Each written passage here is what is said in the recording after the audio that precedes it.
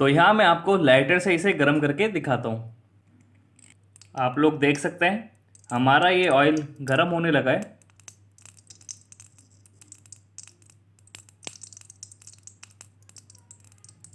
तो भाई लोगों, कैसे हो? तो स्वागत है मेरी एक और नई वीडियो में। आप देख रहे हैं मेरा चैनल केयर फॉर यू आज मैं आपके लिए एक और नई रेमेडी लेके आया हूँ। तो आज की हमारी रेमेडी होने वाली है कि हम अपनी फटी एडियो को वापस ठीक कैसे कर सकते हैं। अगर आपके भी एडी फटी हुई है और वो कुछ ज़्यादा ही सर्दियों के मौसम में आके पड़ी आती हैं, उसका अंदर से ब्लड निकलता है या फिर आपके दर्द रहता है, आप अपनी एडी ज़मीन पे भी नहीं रख पाते तो फ्रेंड्स आप इस वीडियो को पूरा देखिएगा। क्योंकि इस वीडियो में आपको एक ऐसा नुस्खा बताऊँगा, जिसे आप अपनी एडी पे अप्लाई करेंगे और दो से तीन बार के अप्लाई के बाद ही आपकी एडी वापस नॉर्मल हो जाएगी। तो चलिए फ्रेंड्स अपनी वीडियो स्टार्ट करते हैं। और वीडियो स्टार्ट करने से पहले मेरे चैनल को सब्सक्राइब कर लीजिए और साथ में बेल आइकन दबा दीजिए। तो इस रेमेडी को आप किसी स्टील के बर्तन के अंदर बनाइए। तो हमें स्टील के बर्तन के अंदर क्यों बनाना है, मैं आगे आपको इस वीडियो में बताऊँगा। तो हमको सबसे पहले लेना है मोमबत्ती। ये हर घर में ईजिली मिल जाती है। तो फ्रेंड्स आप देख लीजिए, आपको इतना बड़ा पीस मोमबत्ती का लेना है। इसके बाद हम इसको इस तरह घिस लेंगे।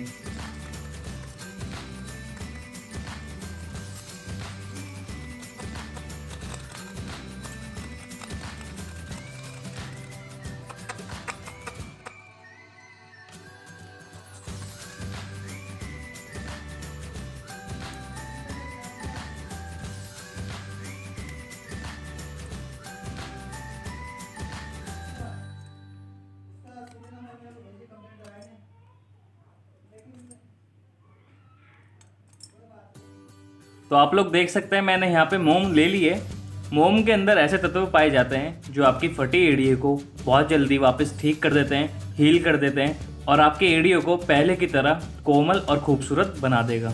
तो फ्रेंड्स मोम लेने के बाद हमें लेना है ऑलिव ऑयल तो मैं इसके अंदर तीन चम्मच ऐड करूँगा ऑलिव ऑयल की। अगर आपके पास ऑलिव ऑयल नहीं है तो आप कोकोनट ऑयल भी ले सकते हैं।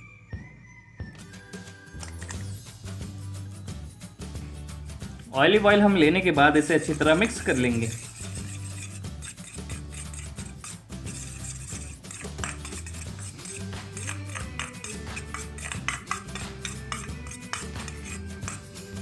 तो वीडियो के स्टार्टिंग में मैंने आपसे कहा था कि आपको ये रेमेडी स्टील के बर्तन के अंदर बनानी है।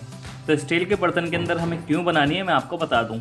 क्योंकि हमें ये 20 से 30 सेकंड के लिए गैस पे रखना है और इसे गर्म करना है, ताकि ये मोम अच्छी तरह इस ऑयल के अंदर मिल सके। तो चलिए फ्रेंड्स मैं आपको करके दिखाता हूँ। तो यहाँ मैं आपको लाइटर से इसे गर्म करके दिखाता हूँ। तो यहाँ मैं आपको लाइटर से इसे गर्म करके दिखाता हूँ।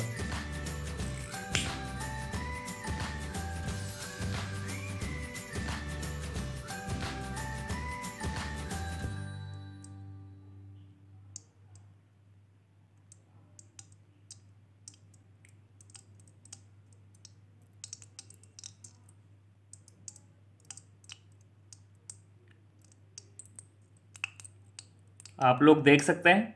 हमारा ये ऑयल गर्म होने लगा है।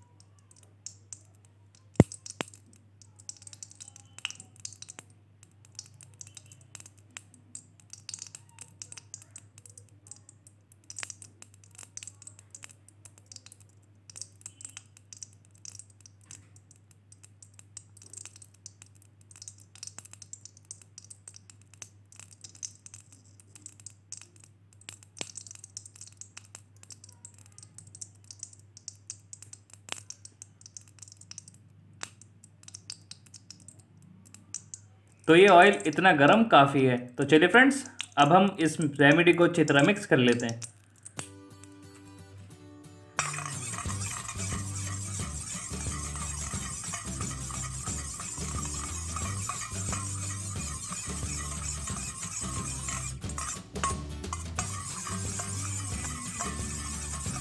तो आप लोग देख सकते हैं, मोम इस ऑयल के अंदर अच्छी तरह मिक्स हो चुकी है। तो चलिए मैं आपको बताता हूँ ये रेमेडी आपको कैसे इस्तेमाल करनी है और कब करनी है।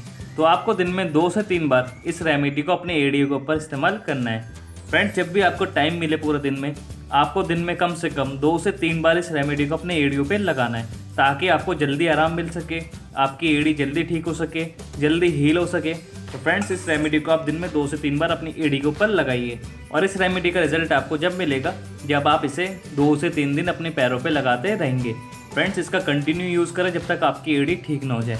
तो आप ख्याल रखें कि आपको ये लगाने के बाद चलना नहीं है, फिरना नहीं है। आपको आधे घंटे ऐसे ही बैठे रहना है और अपने पैर पे इस रेमेडी को लगा रहने देना है। इसके बाद कॉटन की मदद से या फिर किसी टॉवल की मदद से आप इस रेमेडी को साफ़ कर सकते हैं। तो फ्रेंड्स ये थी आज की मेरी वीडियो अगर आपको हमारी वीडियो पसंद आई हो, हमारी वीडियो को लाइक करें शेयर करें और जाते जाते हमारे चैनल को सब्सक्राइब करें।